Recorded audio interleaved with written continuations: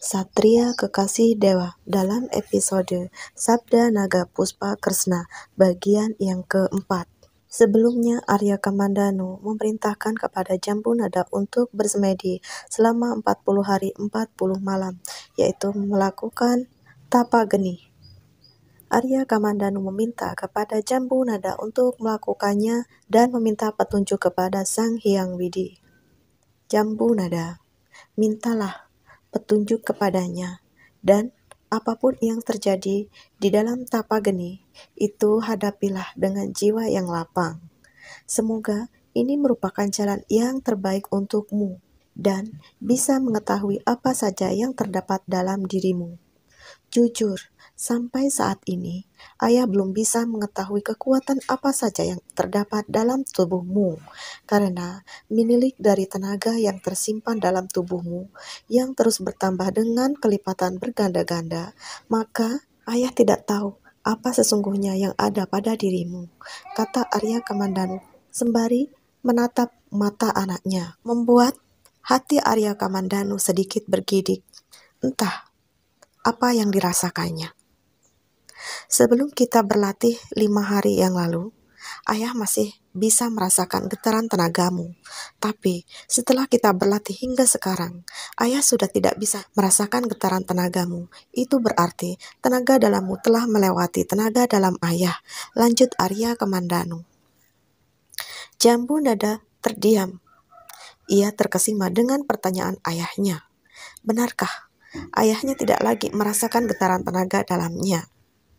Apakah benar tenaga simpanannya telah melewati yang dimiliki oleh ayahnya? Padahal yang ia tahu bahwa ayahnya adalah seorang yang telah mampu mengalahkan seorang Wong Agung, seorang yang sakti mandraguna, yang memiliki aji segara geni. Orang yang mempunyai tenaga dalam luar biasa hebatnya. Bagaimana Jambu Nada? Apakah kamu merasakan getaran tenaga simpanan ayah? Tanya Arya Kamandanu dengan senyuman. Anu ayah, maaf kelancangan.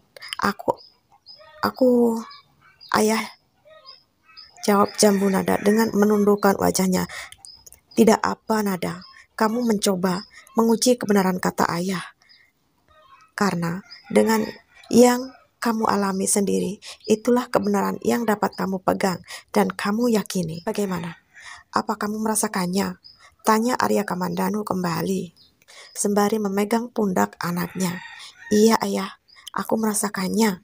Getarannya ayah, jawab jambu nada semakin menundukkan wajahnya. Nah, itu berarti kau telah melewati batas tenaga simpanan ayah. Sebaliknya, ayah tidak lagi dapat merasakan getaran tenagamu. Ketahuilah nada, semenjak bayi, getaran tenagamu telah terasa, walaupun dalam getar yang kasar, dan itu terus bertambah hingga usiamu mencapai 10 tahun. Dan setelah 10 tahun, getaran itu menjadi halus karena kau telah mampu mengontrolnya. Hingga sekarang, getaran itu tidak ada lagi. Dan itu juga berarti tenaga simpananmu semakin membesar, kata Arya Kamandanu sembari terus memandangi anaknya. Yang ayah ragukan saat ini adalah apa yang terjadi jika tenaga dalammu semakin membesar. Apakah tenaga dalam itu akan terus di bawah pengawasanmu atau sebaliknya dengan wajah yang tajam? Arya Kamandanu menatap jambu nada. Lahir batin ia menetapkan tekad untuk menjalani tapa geni Segala sesuatunya telah disiapkan oleh jambu nada. Lahir batin ia menetapkan tekad untuk menjalani tapa geni atau yang lebih dikenal dengan Tapa Pati Geni. Tepat tengah malam dan dimulai pada malam itu hingga 40 malam selanjutnya. Dia akan menjalani tapa geni atau laku pati geni. Selanjutnya, jambu nada memasuki gua, berada di dalam yang gelap dan tidak melakukan aktivitas apa pun selama 40 hari 40 malam. Tidak makan, tidak minum, posisi badan duduk semedi, kalau capek bisa bersandar atau dalam posisi berbaring. Semenjak hari itu pula, Arya Kamandanu berada di mulut gua. Ia menjagai anaknya agar tidak ada binatang atau manusia yang masuk, yang intinya bisa mengganggu tapa pati geni yang dilakukan oleh jambu nada. Walaupun Arya Kamandanu yakin tidak akan ada seseorang pun yang mampu melewati tempat itu, tapi demi jambu nada, Arya Kamandanu selalu berada di mulut gua. Hari ini adalah hari yang ke-39 jambu nada dalam laku pati geninya. Terdengar raungan ular Krishna menggelegar. Terdengar hebat oleh Arya Kamandanu. Aku harus meningkatkan tenaga dalamku. Arya Kamandanu menggumam sembari meningkatkan tenaga dalam agar raungan itu tidak merusak organ di dalam tubuh dari jambu nada.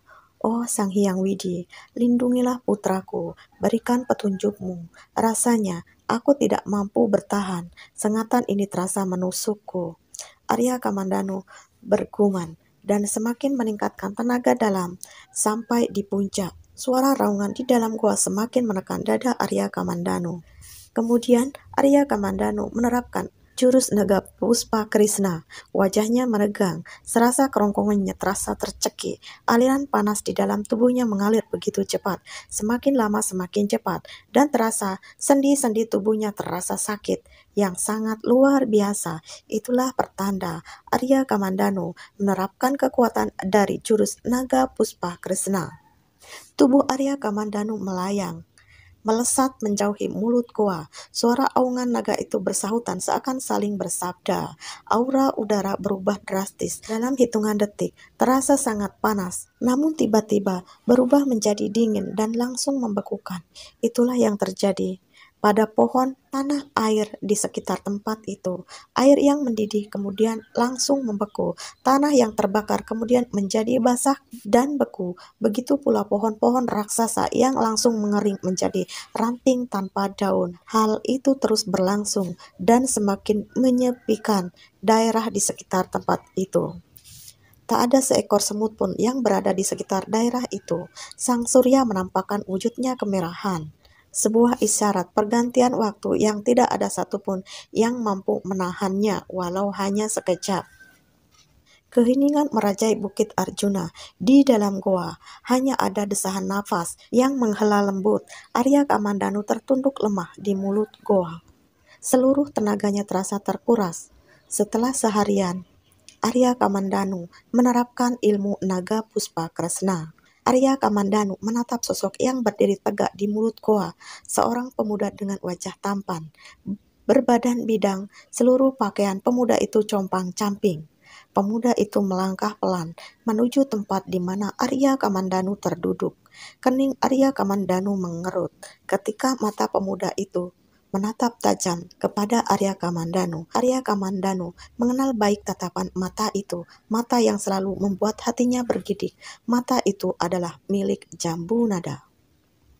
Tapi anehnya, di manakah totol yang selama ini membaluti tubuh Jambu Nada? Mana totol yang bersisik itu? Kenapa kulitnya bersih dan bercahaya? Apakah dia jambu nada? Ah, atau mataku yang salah Arya Kamandanu berkata dalam hati, Ayah, marilah kita ke pondok. Suara pemuda itu memanggil Arya Kamandanu. Pemuda itu duduk menyentuh tangan Arya Kamandanu. Jambu nada, Arya Kamandanu berseru, apakah ini kamu? Pemuda itu menunduk. Dia mengerti dengan maksud pertanyaan lelaki setengah baya yang ada di hadapannya lelaki yang sangat dikagumi oleh Jambu Nada, yang juga merupakan ayah kandungnya, sekaligus ibu buat dirinya. Kasih sayang yang tak pernah lepas selalu tercurahkan untuknya. Bukan kemanjaan, tapi ajaran seorang kesatrialah yang didapat dari ayahnya kelembutan dalam ketegasan yang selalu menjadi patokan dalam membimbing jambu nada. Ayah, marilah kita ke pondok. Nanti di sana aku akan bercerita apa yang aku alami selama melakukan pati geni. Sahut jambu nada. Arya Kamandanu mencoba untuk berdiri, tapi terasa sendinya begitu lemah, sehingga hampir saja ia kembali duduk. Kalau saja jambu nada tidak menyambutnya. Dengan lembut, Pemuda tampan itu merangkul Arya Kamandanu yang lemah. Pemuda itu membaringkan tubuh Arya Kamandanu di sebuah amben di sudut dalam pondok. Arya Kamandanu menaguk air dan segeralah tenggorokannya yang kering kini telah basah. Air itu terasa begitu dingin, telah mengaliri seluruh tubuhnya. Apa yang terjadi denganmu, Dada? Tanya Arya Kamandanu, memandang penuh heran terhadap anaknya, tapi hatinya yakin bahwasanya pemuda yang berada di hadapannya itu adalah jambu nada.